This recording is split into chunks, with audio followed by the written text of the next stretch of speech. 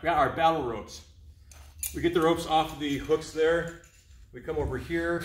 We're gonna thread it underneath and have the carabiner right back on itself. Boom, you're ready to go. So we're gonna do a series of movements here. I'm gonna bring my cheat sheet. Fast waves, RMS, highways, circles, sidewinders. All right. We're gonna do what we call fast, fast waves, right? So we're gonna try and go uh, really quickly, but have a low amplitude with it. So whether I have my hands here or here, they look like this. For the prescribed number of time uh, or reps. We can do, well, I'm trying to go in order how I have these listed. We can do hourglass. So I'm trying to make an hourglass shape while the rope is still on the floor. Biggest mistake here is people take all the slack out of the rope, leave some slack in there. So I'm kind of moving my hands out and then in.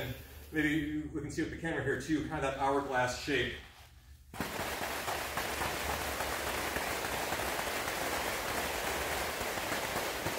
Working in through there. After our hourglass, we go to high waves. Now we're trying to create a tsunami with the rope. And you're gonna see more through the legs and the arms here too as we're going through this. All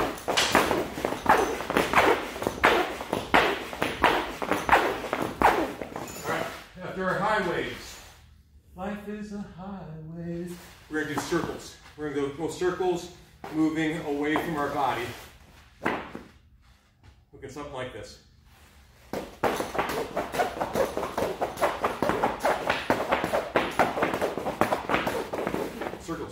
From circles, we're going to do sidewinders. So now, both arms, body, leg are moving in the same direction. Get this thing going, and we're rocking side to side. Here's that sidewinder. Not to be confused with hourglass, right? That's hourglass. Here's sidewinders.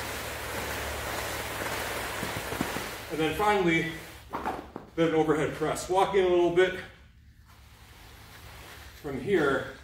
Keep the rope off, the rope down there, off the ground, and start pressing. And you'll think at some point you got 65 pounds overhead. Lots of fun.